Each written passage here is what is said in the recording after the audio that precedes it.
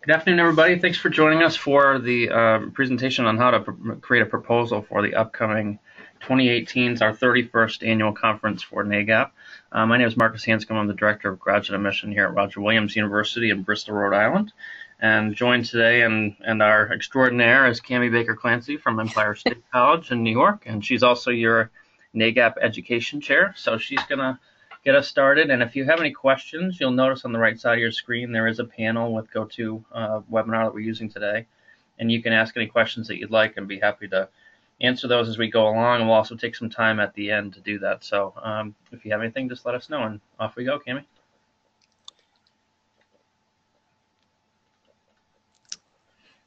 Okay, thanks, Marcus.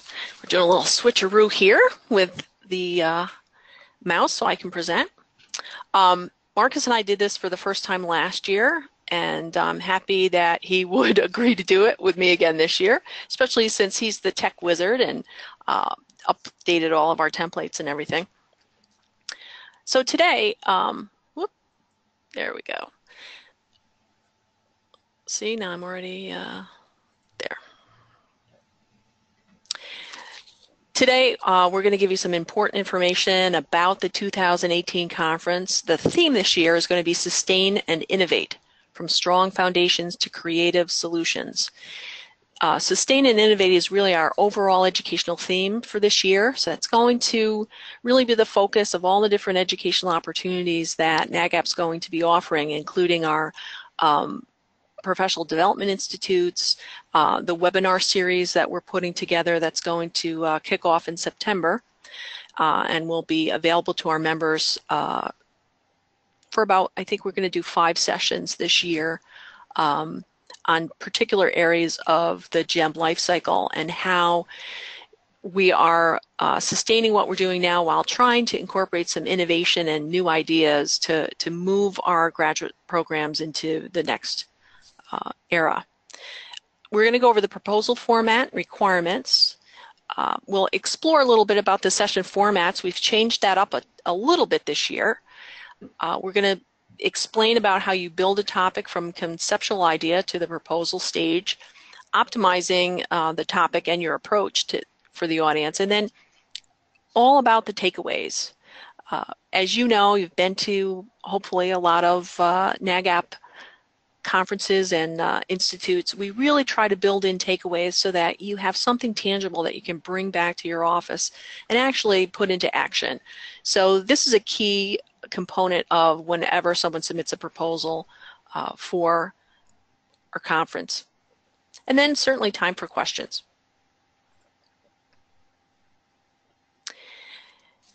So most important, uh, save the date. And you guys have probably already done that if you're considering uh, submitting a proposal or have already started one. The conference this year is going to be April 11th through 14th. And we're going to be back in New Orleans. So we're very excited about that. Uh, conference committee is already well on their way to structuring what our uh, sessions are going to be like. And uh, we're really excited about the opportunity to go back to New Orleans. The call for proposals is on the NAGAP website, but you've probably received several email notifications as well.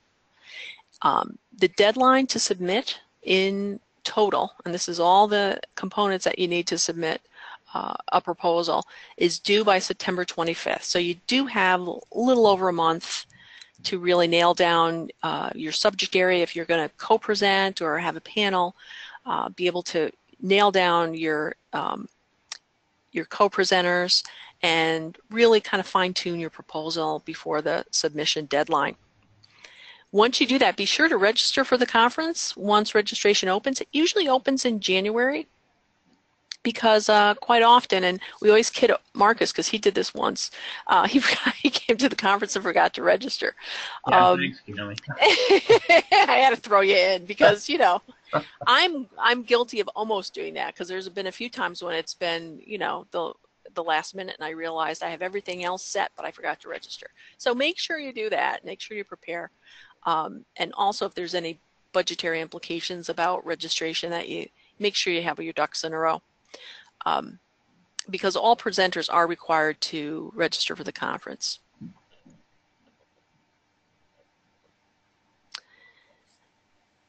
So the goals of our educational sessions really are um, to bring new information to our colleagues. Uh, the proposals really should be aligned with the theme of our conference, and again, that's sustain and innovate from strong foundations to creative solutions.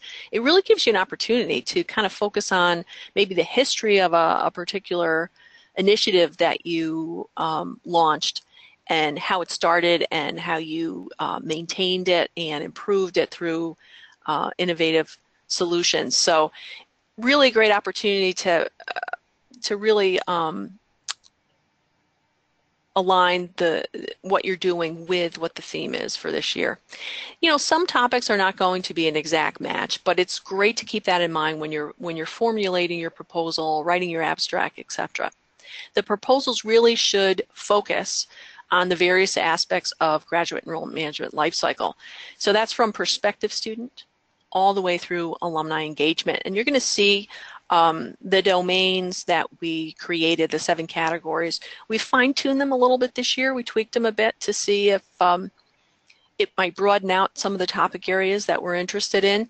But these really um, align with um, the areas of the graduate student life cycle.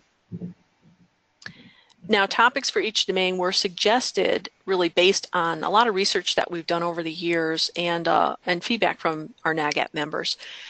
We we tried to look at our strategic plan, and we've just gone through a whole new process with a new strategic plan through uh, for NAGAP. And we really try to pick out items that have come to light within our strategic plan to really highlight those. So um, that's where we've changed some of the category titles slightly to really reflect that. You can identify a topic of your choice as it re relates to one of these domains. And you're going to see again, they're typical things that um, that we normal normally see with a little bit of variation. Now, how do we create the call for proposals? We always look at all the information we've received over the years. So we looked at last year's conference evaluations. Um, we looked at the feedback we received. So when you do do evaluations at the conference, make sure that you spend the time. I know it, it sometimes is difficult to remember, oh, I've got to do that online uh, evaluation of a session. But the feedback we receive really um, helps us prepare for and, and improve for future offerings. Um, we looked at survey results, um, best practices, and then any kind of current information that we've received on, on GEM um, issues. There are a few different changes. I think we'll talk about those probably on this slide. I think would be good. In addition to the question about publications and presentations, we added that last year. We're trying to gather information from our from our members about um, you know any publications that they uh, might have submitted articles for and have been published, um, any presentations they've done at other um, venues, whether it's uh, another national or uh, regional conference, for example we feel that was a, a great question that we added last year. We've gained a lot of information from our members, which is going to help us in the future when we're looking for other speakers on particular topic areas. So please pay attention to that when you look at the proposal. We also added a question. It's a it's a drop-down box um, this year where you could actually pick items. Um, we really wanted to get the range of the presenters. And that really focuses on um, their voice. So what's their frame of reference? What perspective are they bringing to the topic that they're talking about? So if you've gone on our site and looked at it first before deciding to do a proposal, you'll see that question. Um, so we're looking for people that really represent all the different areas within graduate uh, enrollment management. You'll see that uh, we like to see if someone's from a specific uh, program or school of, like a nursing school or a law school, for example? Um, are they from financial aid department? Do they work in alumni affairs? Um, are they at a mid-level level administrator or, or a senior administrator? Do they work only in marketing and recruitment? We want to get a good picture of the kind of voices that are reflected again in the particular proposal that you're submitting. So that's another little change we made this year. Um, we're also going to be doing a follow-up survey with those that have uh, submitted proposals, um, a little more geared to diversity, not only um, diversity of ethnicity and um, um, you know, male, female, gender, ethnicity, I mean, uh, gender uh, differences, um, but also, you know, what type of institution do you work for? Do you work for a, a large university? Do you work for a small private liberal arts college? Um, to get a good sense of the diversity of our speakers too. So that's going to be a follow-up um, that we're going to be doing with all the people who submit proposals. The Education Committee got together in February for our Education Committee Summit to really go over our, our new strategic plan and kind of refine some of the areas within that area. Uh, but we also pulled items out of the strategic plan, as I mentioned before, to really kind of focus on um, what's our what's our emphasis going to be for the upcoming three to five years uh, for NAGAP.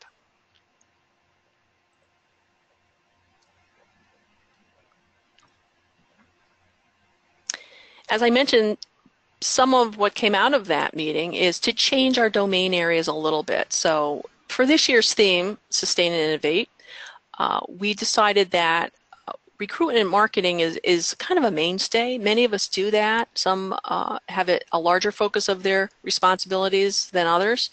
But that's an area where we always get a lot of really good, interesting proposals from our members we decided that we would change our financial question a little bit, our domain, and, and call it Money Matters to broaden that out to not only be about um, finances of our students, but also, um, you know, development of grants that we might uh, pursue and things of that nature. Uh, we decide to change admissions operations to integrated operations because as you know, many of us are integrating many services now as we move towards more of a graduate enrollment management model. Student services is an important aspect of that. Alumni engagement across the student life cycle, not just at the end or at the beginning with prospective students, but really a whole gamut of mentoring, etc. Uh, enrollment modeling and strategic planning, and then our career staff and personal development. So just to give you, again, an idea of where we were going with this, recruitment and marketing, here's just a few examples, you know, recruiting strategies that schools use uh, when they're facing enrollment challenges or trying to develop new markets, for example. Um, money matters, again, how does fund, funding impact yield and retention? you know, if you're at a school, I'm, I'm at a, a, public institution where we do not have a lot of funding available for our graduate students, sometimes that really uh, impacts people's ability to, you know, enroll in your institution. They may uh, not want to take out student loans or um, really might not be in a position where they can accumulate more debt.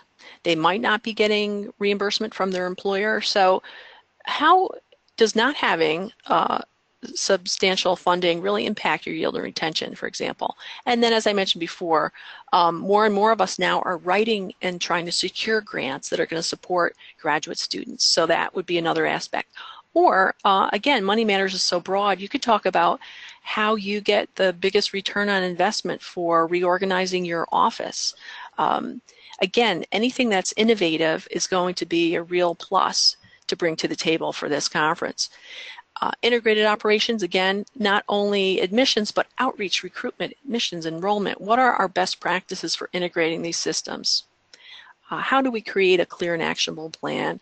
And then um, another example would be maximizing your team and how to cross train, which, you know, we always talk about cross training. It's probably over talked about. Um, but it's really, really, especially this with the smaller staffs that you get, or if you're restrained on your ability to hire additional staff, um, that's really a, an important model to, to talk about how to best do that. Uh, certainly graduate student services, how do we really promote an institutional culture of student service at the graduate level? Which is a big, um, I think, issue that a lot of people deal with on a day-to-day basis.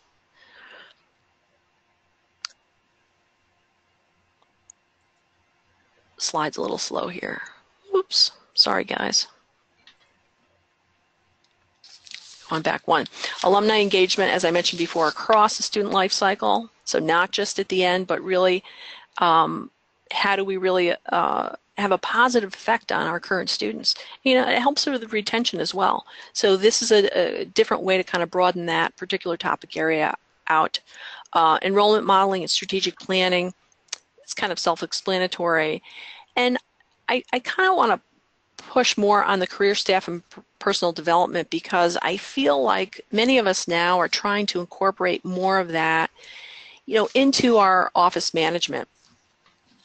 Um, years ago, I, I, don't think we thought about um, how much personal development is really required. I mean, we do uh, professional development, attend workshops, go to conferences, etc. But there's other ways too that can really improve, um, you know, career projection for for your employees that might be reporting to you and other staff, and as well as for yourself. So um, think about that if you've got some burning issue that you uh, really think would help people in this particular area. I mean, last year we there was one person I think that did a presentation on a 360 uh, review, where it allows people to really comment on you know how you're doing as a manager. Uh, we use that a lot here at, my college, which is pretty interesting. Um, but you know, there's a lot of new um, new vehicles out there to to to use to assess people's um, professional development. So um, I think that's a good topic Gary, too. We don't normally get, last year I think we got a few more uh, presentations than we normally have, which was good. Um, but you know, our goal is really to have a good representation of all these seven areas of these domains. There's four options for the educational sessions. Um, you can do a presentation, a panel discussion, a special interest forum, or a vendor presentation. So presentation is pretty self-explanatory. Um, and I think most of us do that on a day-to-day basis uh, in their offices. Um, the panel presentation is a little bit different. I mean, sometimes we put panels together and it's just people talking for 10 minutes each on a panel. Really think about if you're going to do a panel discussion to limit it to maybe three or four participants uh, with a moderator and have a set of specific questions on a particular topic so that each panelist can um, reflect on the questions that the moderator is asking. And also it gives you an opportunity then to, to open things up with the audience if people want to respond to those questions. I think the the best panels I've seen have really worked this way. So really think about that if you want to put together a panel discussion. And a lot of people are more open to do a panel because they don't feel that it all rests on them when they do the presentation. So it's a great opportunity to, um, to be able to collaborate with your colleagues. Now, a special interest forum um, really is another opportunity for people to really to do more of a roundtable discussion. And it should be something that's very timely, something that is um, now in the forefront and that everybody's talking about. Sometimes that's hard to gear up and get a presentation submitted, uh, you know, so far ahead of, of when the conference is going to be. But, you know, we certainly know that there's a lot of topics in uh, graduate enrollment management that are really at the forefront right now um, that would be appropriate for a special interest forum. So think about that when you read the, the description. We have all those descriptions in the um, proposal site, which is called PRECIS, and you'll be able to read that. There's links to it, so you can review that information before you decide which type of presentation uh, am I going to use. And then the vendor presentation. There's really a difference between a vendor as a vendor partner looking to provide a presentation about a particular service or product that um, that they provide. If someone is going to do a vendor presentation, then they really need to um, be one of our contributing vendors. And there's a there's a cost for exhibiting. We do have this information right on uh, the precis site for people to see if a vendor wants to participate they certainly in a different way they can participate with other um, NAGAP members who are doing presentations but again it has to be um, you have to co-present with a college or university the presentation really has to be more research based not an opportunity for a sales pitch, for example. Um, and the vendor really cannot submit multiple education sessions. We had um, last year, I think we had one vendor that um, that did that. That had they were good sessions and they were uh, with other participating campuses, but um, you know it was a little bit overload. So we've really limited it th- this year. We want them to be beneficial. Obviously, if a vendor has really good information that they want to share, uh, research that they've done, if they work with a partner institution, I think that's very appropriate. Um, but again, if they want to really focus on a service or a product they that they uh, offer, then they really need to do um, a traditional vendor presentation as an exhibitor. And again, all that information is right on Precis, the first page that you look at. So guiding principles when you're thinking about putting together your proposal, just what's new? What are your best practices? Again, think about that theme of sustaining and then innovating. Um, how can any of this new learning be used by your colleagues? Again, we want to provide some tangible takeaways for people. Um, some of these things are, you know, common sense items like make sure that you uh, allow time for interaction and, and questions and answers, um, and consider the levels of your audience. So you might have really new folks because we know that even though we do uh, new professionals um, summer institute where this year we had over 100 people it was really wonderful um, many people are hired at a different time frame so the first time they actually get to come to a NAGAP um, session is the annual conference. So you might have really new folks in your sessions and you might have very senior people. So it's good to be mindful of what's my topic, who's that going to be of interest to, and then make sure um, that you consider that you're going to have various levels within your presentation.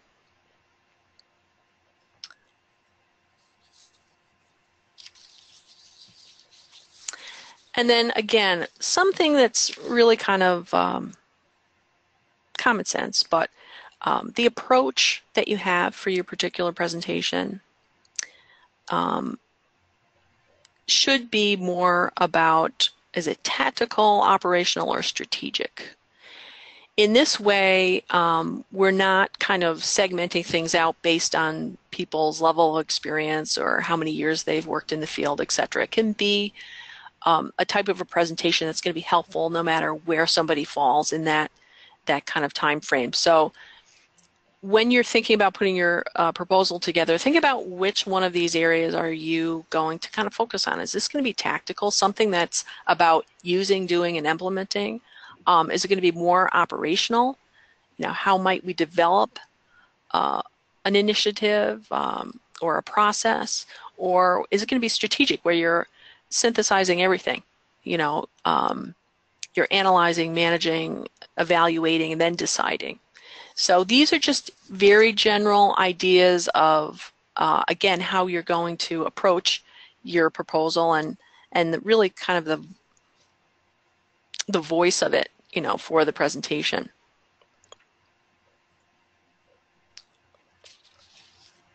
Now, just a, a quick overview of the proposal application.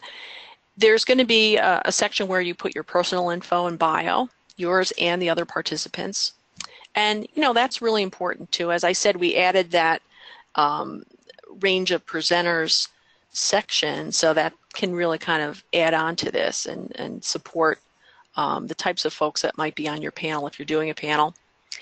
Um, we talk about presentation and publication experience uh, the type of session, the educational domain, the approach. The abstract's really important. It's it's uh, limited to a certain amount of words. I forget how many. I think it's 300. I apologize if I don't know right off the bat, but you'll see it in there. Uh, abstract is really important. You really want to make sure that you present the information in a way that's going to be attractive to people. They're going to want to come to your session. But also really be mindful of what you're saying in your abstract so that you're going to deliver on whatever you're talking about. And we've all been through that. I mean, how many times have you gone to a conference, you've gone to a session, you think it's going to be about one thing, and then it's totally uh, about a different area.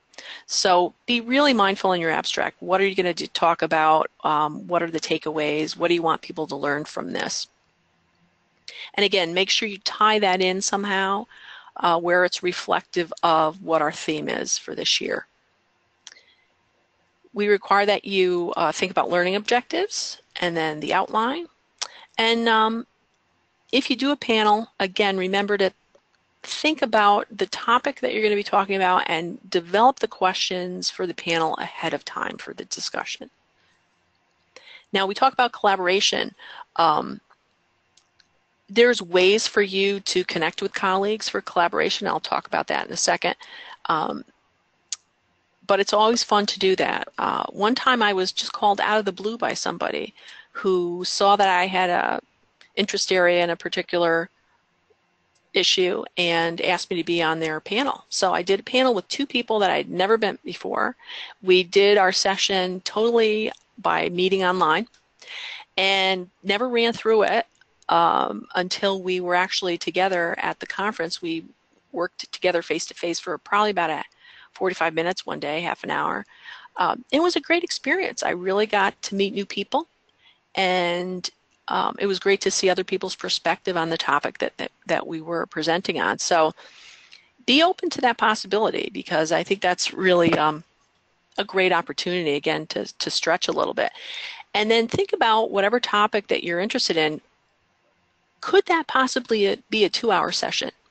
And again, keep that uh, open because uh, quite often we get topics that are great and they're packed with information. And then we look at it as the reviewers and say, hmm, this could have really been a two hour session easily. So think about that when you're constructing your uh, proposal. And when we are talking about collaborating a little bit, um, you can connect with colleagues either through our NAGAP Facebook page, LinkedIn, Twitter, other social media. Your chapters are a big way to connect with people. So check out your local NAGAP chapter and see if there's anybody from your area that wants to collaborate with you on, uh, on a proposal.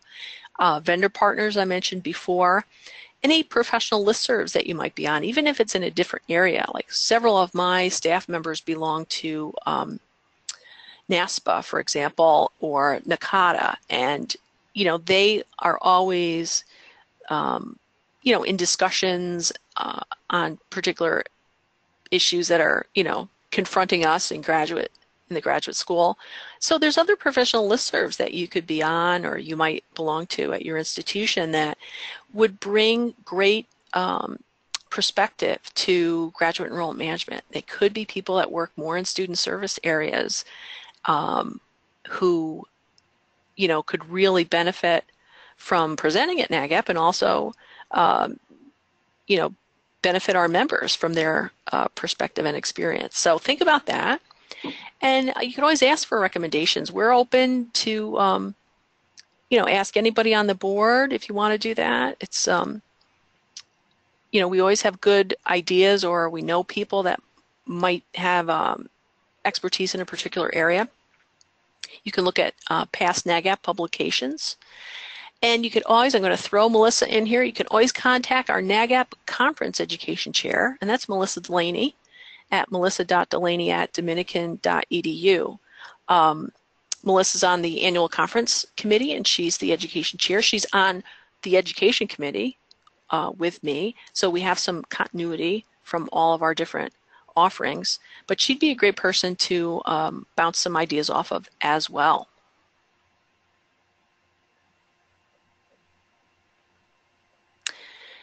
And you know, I've mentioned this a couple of times today, but just remember your learning objectives should be aligned to the theme and the educational domains. So certainly the area that you're presenting on, whether it's recruitment and marketing or uh, integrated operations, for example, Um, and then the theme.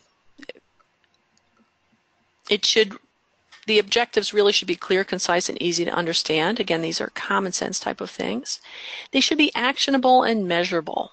Again, we want to be able to um, provide something that you can use when you go back to your home campus. Um, anytime you can reinforce with data is a plus.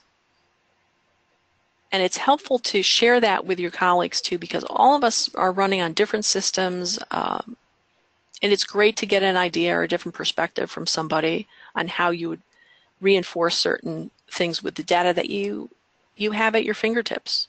Um, some people don't realize they have more information that they can utilize than uh, than they believe.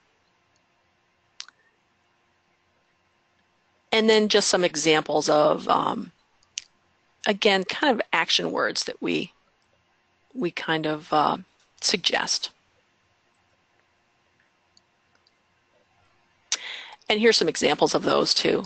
Examples of learning objectives about evaluating, uh, comparing and contrasting, creating, analyzing.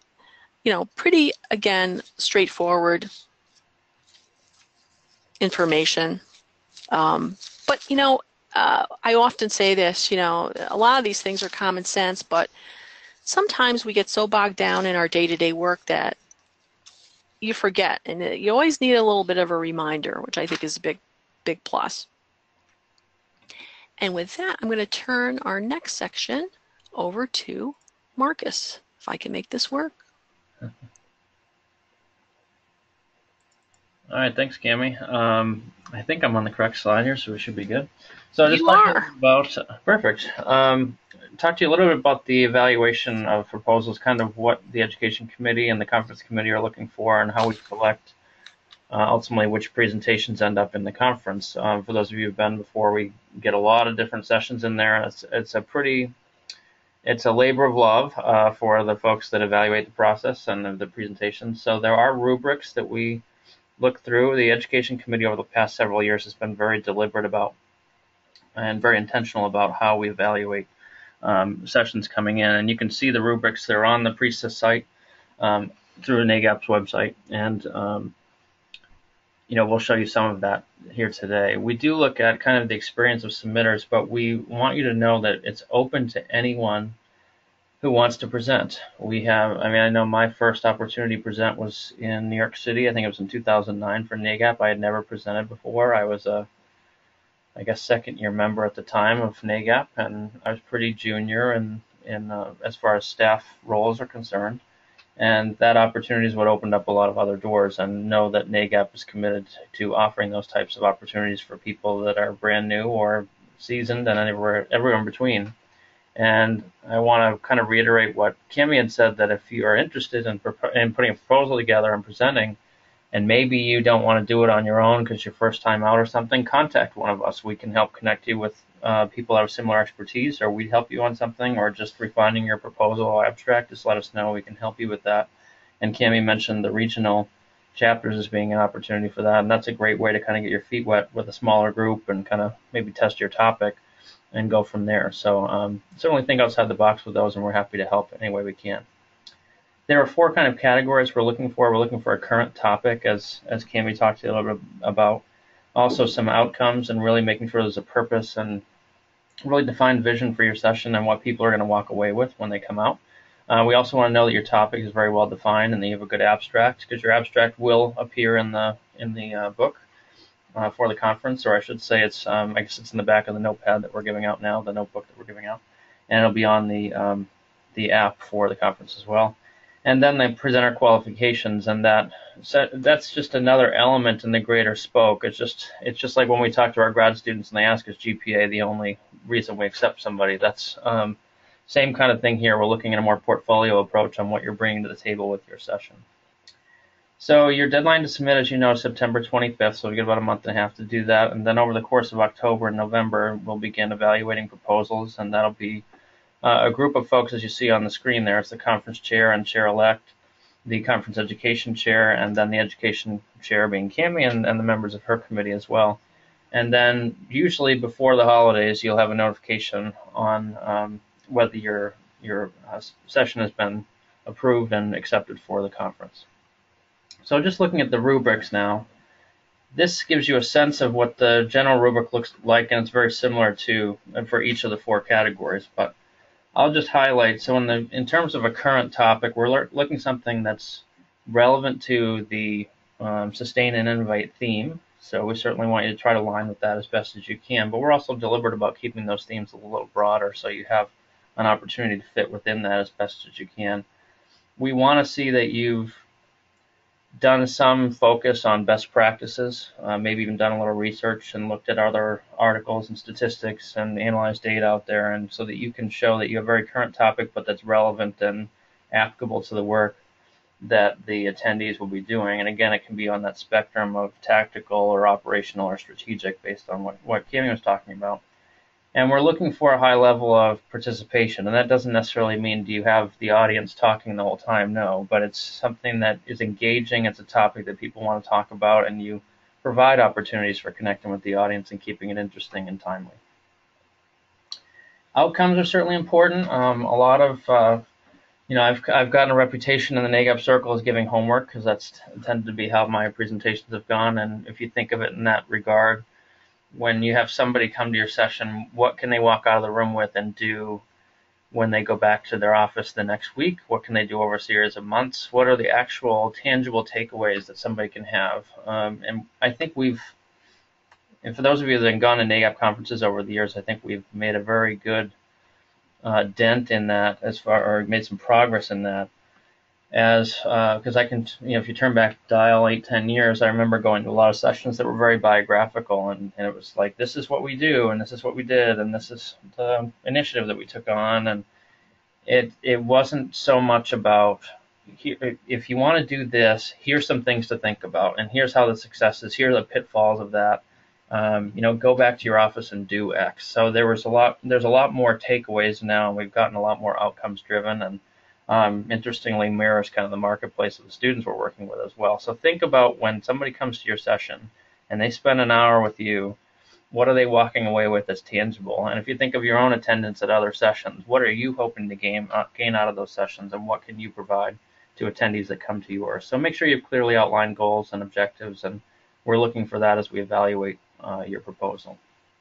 The title and abstract, fairly straightforward. We want something that's clear. We want to make sure people understand what it is you're going to be talking about. Of course, the intended audience, if you could make it somewhat clear in that, um, that'd be good. So if you say something like, um, you know, hitting the road for newbies, you know, something that's that's pretty straightforward. That it might be a recruitment session for people that are brand new to the field, versus something like strategic planning for uh, executives. That would be a very clear, um, kind of upper level strategic discussion. So as much as you can, make it clear to the folks when they're reading the, the session title and description and uh, abstract that it's very clear on what they're going to be getting out of it and who it's intended for. Finally, we're looking at that qualifications piece, and, and uh, as I mentioned before, it's not a primary, it's not the overarching thing that we're looking for. It's just a, it's a supporting mechanism to see if you've had experience related to your topic, if you've done, if you've presented on this before somewhere, if you have particular educational background, um, certainly with some of the areas of GEM that we're trying to embrace within the conference, if it's somebody that comes from student affairs or worked with international student services, those types of experiences, no matter how deep in years they are, having that experience is helpful um, as we're evaluating the currency and the relevancy of the topic and your experience as it relates to it. So some final thoughts as we um, are talking about your proposals and things. Make sure you have actionable, take, actionable takeaways, and, and Cammie and I have talked about that a little bit. Here's just some examples that we put together for you, um, and certainly we can help you frame any topics that you have if you'd like. But these are very, you notice um, when Kim was talking about some of the action verbs, when you look at the beginning of each of these, it's all very actionable. It's things that you can take, like go develop something, review your analytics, assess your style of strengths with a leadership assessment. These are things that you go back to your office and you can say, I can do that either on Monday after I get back or shortly thereafter. And we're all guilty of saying we're going to do all these things when we come back from conference and then fall back into our work schedules and never revisit that. So if you think about your takeaways in that way, what things can be done with limited barriers and limited time and effort when people get back to their offices, but they can make something that's an actionable difference. That's really helpful. Um, I will just mention quickly uh, the NAGAP Learns hashtag, I think Cammie might have talked about a little bit, but as you're going through your sessions, we've started using this throughout uh, the conference now, that if there's an actionable takeaway, tweet it out or put it on Instagram or put it on Facebook and use NAGAP Learns. And we can hopefully kind of tie together some really actionable takeaways because we can't all be at every one of the six or seven, seven sessions at each time slot. Uh, but if you can kind of aggregate that together, it'd be one way for all of us to share the various nuggets that we're pulling away from each uh, each session. So thinking about why you should submit a proposal, I mean, you're all on here, so clearly you have an interest in doing that to begin with, but obviously you want to share your expertise with colleagues. There's a lot of opportunity that we all are experiencing different things in our, our work and um, our own institutions, even like institutions, do things very differently, uh, very different. So it's a good opportunity to share your expertise and of course, growing as a professional, I think um, a lot of my professional growth I'd, I'd, attribute specifically to NAGAP and the networks that I've built there and the opportunities to speak and connect with our, other people. Um, you can also, of course, talk about your uh, experiences in your LinkedIn or social media, highlighted on your resume. Um, these are experiences that um, we have done a panel the last couple of years, uh, a group of us from NAGAP, um, to talk about how NAGAP has given us professional opportunities and um, you know, in my case, I firmly believe that the job I'm in here now, um, my NAGAP experience had a lot to do with why I got the position, and there's a number of us that feel very similarly that for a variety of reasons, our NAGAP experience helped us get to the next level in our careers and actually tangibly get us a new job. So those things are very actionable for you as a professional. So consider that when you're um, putting together a proposal or thinking about proposing uh, a session for the conference. Also gives you an opportunity to highlight your school. Um, many institutions are supportive of, of, professional development when you're presenting because you're able to get out there and um, kind of elevate uh, the reputation of your institution. Of course, you can kind of leverage that to go to the conference to begin with because some of you may not have the money. But if you say, hey, I'm presenting, um, you know, that's an opportunity to try to get some money uh, out of your schools and let you go. Um, also, some schools, and I've done this in the past as well uh, for both subordinates and myself, that if you've presented or participated in conferences, use it in your evaluation. That can be helpful. And have your school's media cover it um, to t- say that you're presenting on best practices and something. It helps in kind of this whole model that ACRO introduced on internal consulting. It's something that we all uh, should think a little bit more about how we can leverage our own experiences to help our campuses, particularly on the graduate side. If you're at a campus that there's not a lot of folks doing grad, but you're kind of the resident experts, how you can establish yourself as the expert, and this is one way to do that. Uh, we remind you, you know, we work in education, so think about this as far as takeaways and things. Um, share data, share best practices. Obviously, we're out there to help kind of the collective whole, otherwise we wouldn't be presenting and sharing the information that we have. Um, but give tangible takeaways, think about your proposals and how they can really drive value for attendees. Um, I think you all quite understand that. But it's really important just to think about that as you're putting these together uh, so that it really becomes actionable for everybody that comes to your session.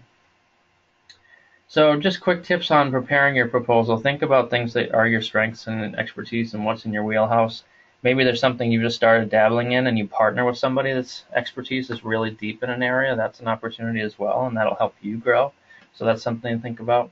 Um, of course, you have to consider the level of your potential audience. So if you're talking about how to build a communication plan in a CRM that might be more tactical uh, versus how do you operationally implement a CRM and put together a group of cross-functional teams to um, implement a CRM. Or it might be strategic and saying, how is a CRM going to impact our recruitment efforts and how are we going to use it to increase yield or we're going to build our search efforts or we're going to um, build a new application. And so there might be some strategy pieces of that. But think of the various things that you're doing and how it might relate in a in a very um, kind of job function specific way and relate that in your proposal as best as you can. Um, get input from your colleagues when you're putting these together. Um, if you have questions or you want to get kind of refinement on proposals and things, reach out to Cammie and I. Reach out to um, our conference chair or education chair. Reach out to anybody with a NAGAP. We can certainly help you, or just reach out with somebody in your um, your own circles on campus there's a lot of us willing to help you out there. So if you need it, by all means, ask us to help. Um, remember that your abstract will appear in that conference program, so you want to try to make it very clear and, and easy to understand for uh, the folks that might be coming, and certainly that'll help your chances of acceptance and things as the conference committee and education committee are reviewing uh, your abstract. And make sure you cite your experience in your biography um, that really relates to your topic. So if you're talking about CRM implementation, talk about how you implemented Slate on your campus. Or if you're talking about student services, talk about how you're doing advising or how you're working with student affairs to build a grad student council. Those things are important for the committee to know because they'll be evaluating hundreds of proposals and they need to be able to look through and not everybody knows everybody, especially if you're kind of new in the NAGAP circle. And we really kind of encourage and want new people that have not been part of um, the board circles or the committees and things to present and get involved and have opportunities to grow in the organization. And we want to provide you those pathways. And so the more people that we can kind of introduce to that, the better off our organization is. So uh, we encourage you to uh, put together a proposal regardless of your experience level and what your interests are. And hopefully we can kind of cultivate a really strong um, conference for 2018 in New Orleans. So uh, that said, uh, that wraps up my section of this. Um, and we're welcome to, you know, we're happy to answer any, any, questions that you might have. And you have our contact information there. And as I mentioned, feel free to reach out to Cammie or myself if you have questions or want help on your proposal or abstracts or just get some feedback or if you want a partner or if you want to connect you with somebody to partner, by all means let us know how we can help with that. So Cammie, I'll toss it back to you if you want to throw anything else in. Yeah, and just one other thing too. Well, two things actually. Um, Marcus mentioned how we really um, this is a great opportunity for new folks who might not have presented previously to to submit a proposal. So we really highly encourage that. Um, and there's one other thing I was going to say. And now I can't remember. Oh well. This is what happens when you multitask too much. but anyway, um, yeah, if you want to um, partner with other folks, do get in touch with us. Um, you we can probably put you in, in touch with other people. Or what can happen, this is what I wanted to say. What can happen is um, sometimes when we get a look at all the proposals that are submitted, people might have submitted uh, similar topics. So if we do get items where, um, hey, this the focus of this would really complement this other proposal, we try to put those folks together to perhaps co-present or build a panel. So um, kind of keep that in mind and kind of be open to that if you can, because we did that a couple times last year and it worked out uh, fairly well. We've done that over the years, um, but sometimes that happens because if we get too many proposals in one particular area, uh, we try to see who could we put together and, and do kind of a, a collaboration. So I uh, just wanted to throw that out there.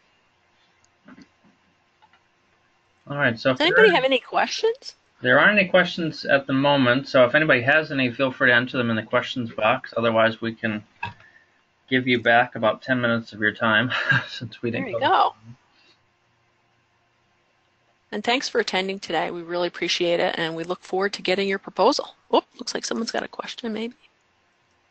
No, Matt, thanks for coming. We no, appreciate being here. Thanks, Matt.